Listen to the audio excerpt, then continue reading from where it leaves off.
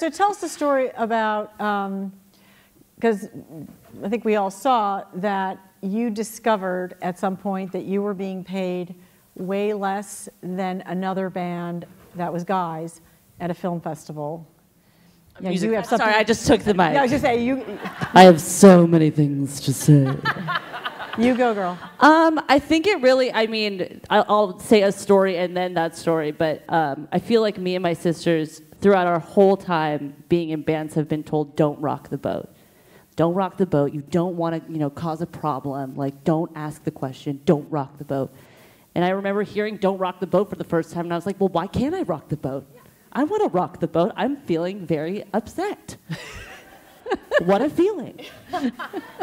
And to go back to um, firing our agent, I mean, we, we, I'm never going to ask for more.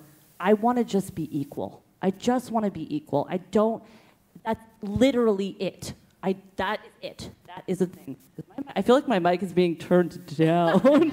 Let's turn that right back up here. There Turn the mic up, everybody. Turn the mic Um, up. I just want to be equal, and the thing is, the thing that bothered me the most about it is that um, this said band and us, we shared the same agent.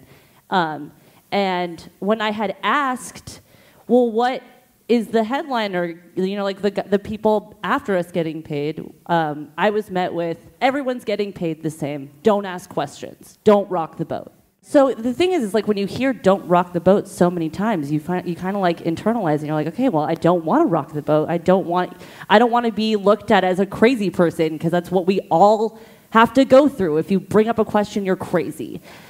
And so we took it and we were like, okay, well, I'm just going to take it for what it is. Everyone's getting paid the same, which is great. I'm down. Let's all do it. We're all here to just play some music. And then I heard that the band after us got paid 10 times more than we did. And when you hear something like that, it's it's another one of those things where you're just like, is this really happening?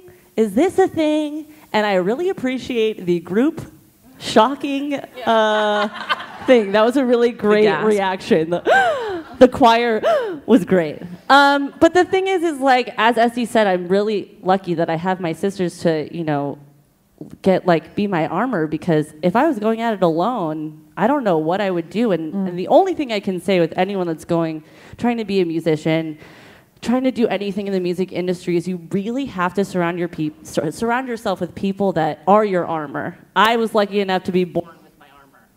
Born with my armor. Born with your with armor. my armor. Born, Switch, yeah. born with my armor. Just like to round out the story because it's fascinating. Clearly, some of the people in this room, I thought, I thought everybody knew it, but because you're famous for it. But um, Are we? yeah, you're, you're famous for standing up for yourselves. Not Thank you. everybody. I think that this is the time. This is what it's about. This is what this era is about. It's like speaking up, being willing. It, first of all, you're not actually rocking the boat. You're just looking for a fair shake. Yes. Yeah. But somebody's convincing you that doing that is rocking the boat, and I think that that's yeah. Go ahead. No, I was going to say, I'm just agreeing with you, totally. Yeah, no, no. So what I'm Yes. saying is like where where we're at is like we're just not going to put up with that anymore. Women are just not going to put up with that anymore, and you're just not going to apologize ever. So just finish the story for me. Like when you found that out, did you go to your sisters and say, "Well, what do we do?" And then like did did anybody say maybe we at do, that maybe we just I mean, I don't. I think, as you said, like. I think Um, we were just in complete shock Yeah. that Okay. that this was still happening, and oh. Thank you so much. um, Thank you, sir. and we decided we needed a change, and that's that's what happened.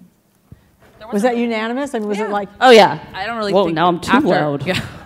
I think after something like that, it's it's kind of a no-brainer. It's just you cut the cord, and you. I mean, like you Try to said, find someone that does believe in you. and and is pretty transparent about that stuff. You hope. do you ever feel like you need like you need female representation? I think that we we try to incorporate any opportunity that we get to incorporate women in our projects. We literally are pining, pining for women. Okay, music producers out there. Literally, Yes. Please, please. I mean, we, you know, we were lucky enough. We, you know, when we were on tour this past time, we were lucky enough.